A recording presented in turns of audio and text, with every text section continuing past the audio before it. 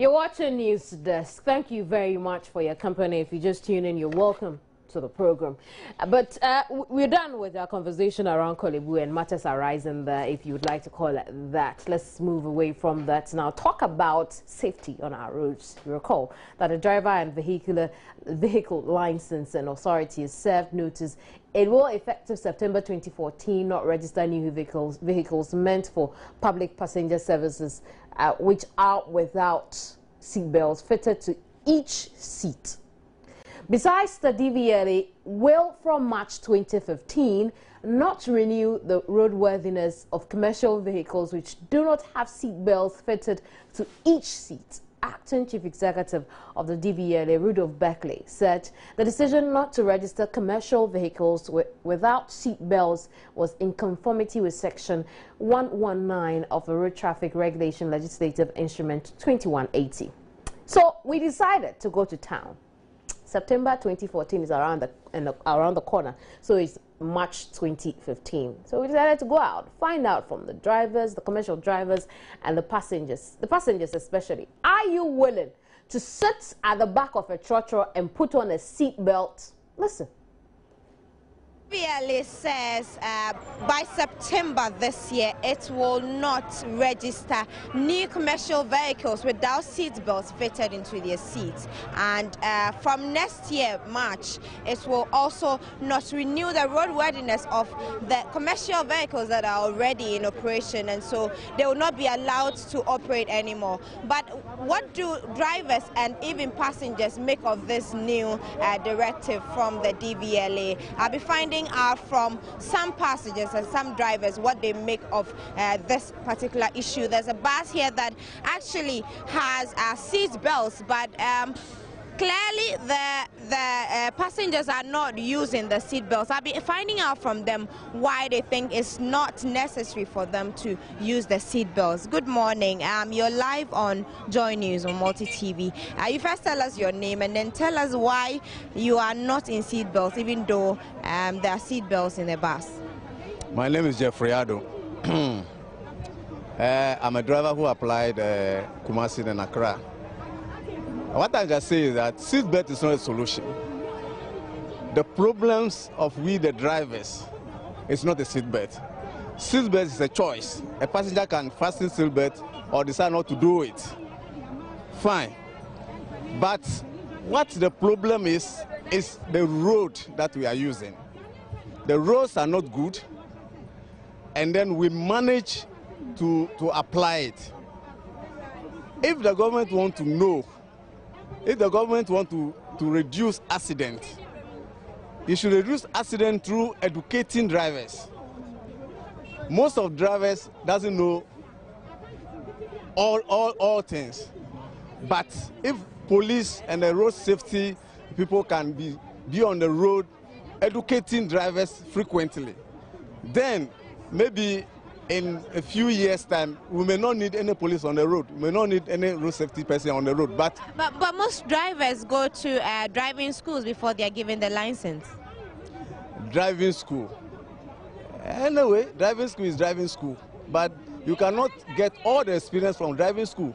You get experience when you apply road, when you are on the road. So if education can go on frequently, then we can educate ourselves not somebody to direct and not somebody to say something before we do. Do you think this is a step to the education that you want? Um, now they want uh, passengers to put on their seatbelts, and if you as a driver you don't think it's necessary, uh, then uh, where do they start with the education? Uh, passengers putting on seat seatbelt, fine, it's okay, but you cannot force passenger to put on seatbelt. If the passenger want to put on, he can put it on or she can put it on. But if the driver cannot insist that the passenger should uh, definitely put on seat belt, you can, you can announce it. But if he doesn't do it, how can you do? You can't do anything. Now, it's, it's, it's per the law, according to the DVLA. They just want to enforce a law that has already been existent. Um, probably you, you may not know, but now they want to enforce it. And so if you don't have it, they will not renew your roadworthiness. What do you have to say about that? And that means that they shouldn't bring in these home second-hand cars. They have to, they have to, we have to buy new, new cars because new cars have seat belts. Like you can see these ones. All the seats have seat belts. But if you are bringing in a, a home second-hand car, whereby if the car go to a harbor, they cut off all the seatbelt to tighten, fasten, fasten their goods, and there is no seatbelt in the car, means that that car will not work. And in Ghana, we are not all people have money to buy new cars. So, so what is it? Uh, you see, they should, they should do it in such a way that at least everybody can have uh, at, at, least uh, uh, his, his way of, of comply with the law, but not to impose the law on everybody because not you. For your safety. Yes, our safety, fine, I know.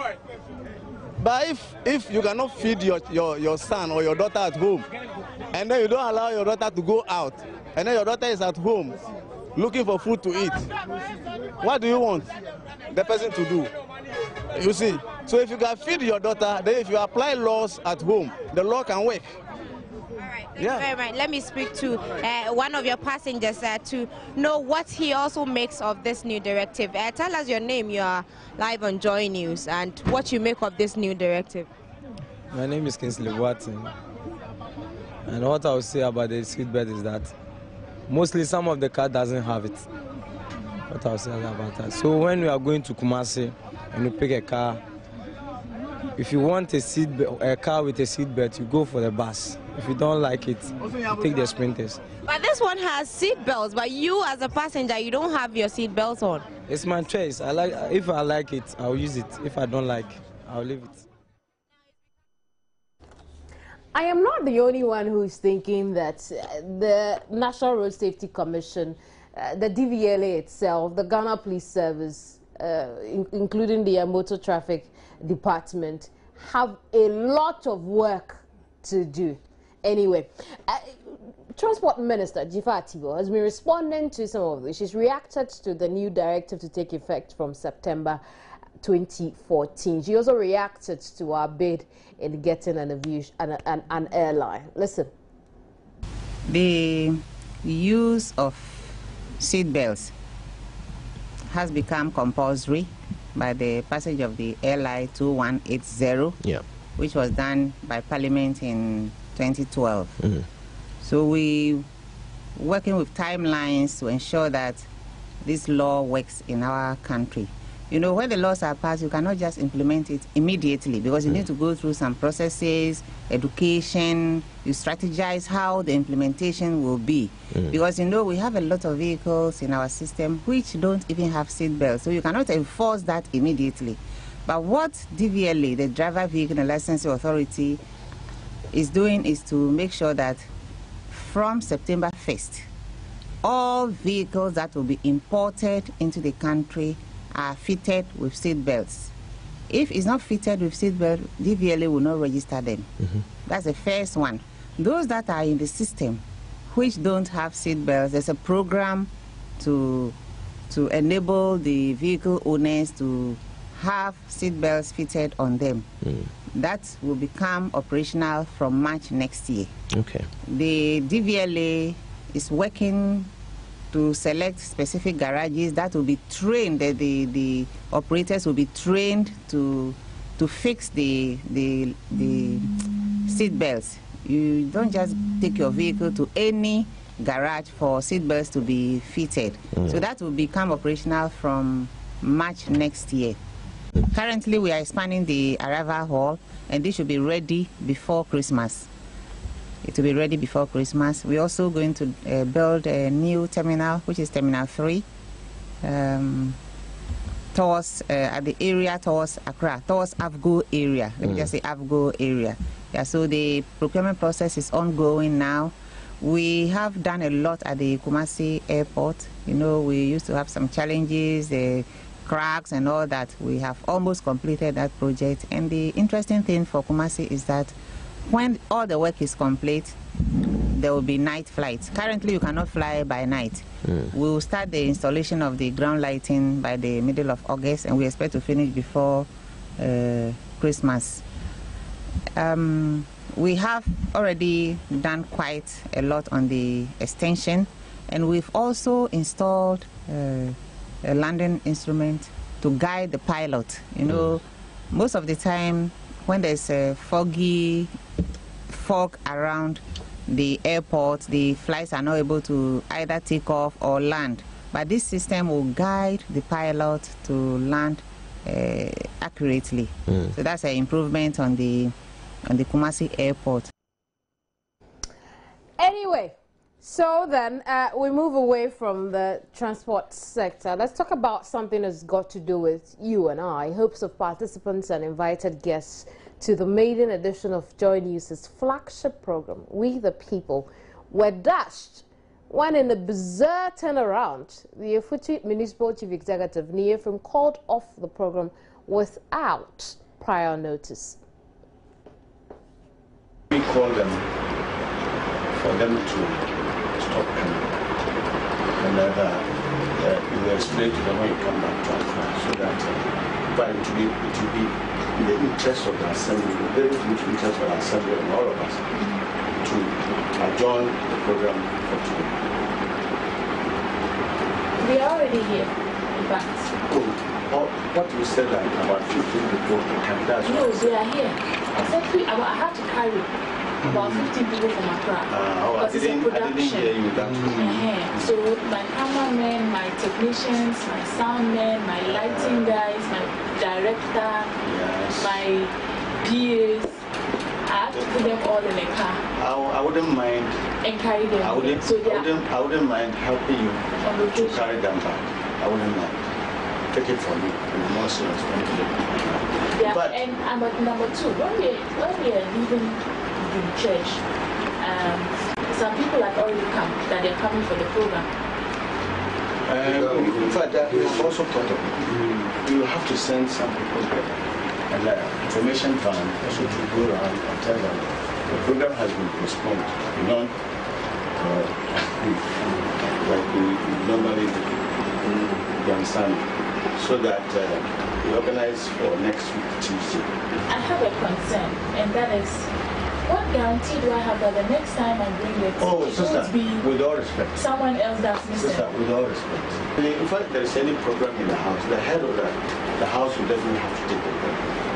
You understand? Take the blame, whichever thing. I'm taking it. And uh, I want to assure you, not that I wasn't interested in this one, but fact, we have been given some tidbits where we don't know, we have fraud here, we have fraud here, we have fraud here make sure you put all these systems good understanding before you come in. And it will not go beyond next week or two. I assure you. I am very, vomit, vomit I'm some very upset. oh, Do my my heart because you are not even very much we, as, we have, as we have cancelled some programs to make the time to air this. We have come around on, on Friday. Uh, we, we, we, we, we have like we are saying, all that all that. The presiding member wasn't, wasn't aware. That is the issue. That is the major issue. Yes. If he were to be aware, he wouldn't have slated the examinations for this morning. Really? At what point did he decide that he had to call this off, making us travel all the way to Winneba for this? And the presiding member was not aware. What were you doing? Did he not sit through the meeting? Really? Anyway, that'll be all for the uh, on news today at midday. We'll talk about WANEP's report. Uh, it's released a second quarter early warning, and it's telling us that the demonstrations we're seeing in the country could degenerate into a revolution. We'll deal with that matter on news today. Make time to watch me. But thank you very much for your company at this hour. My name is Kemini Nyamani. And I'll see you again at midday. Goodbye.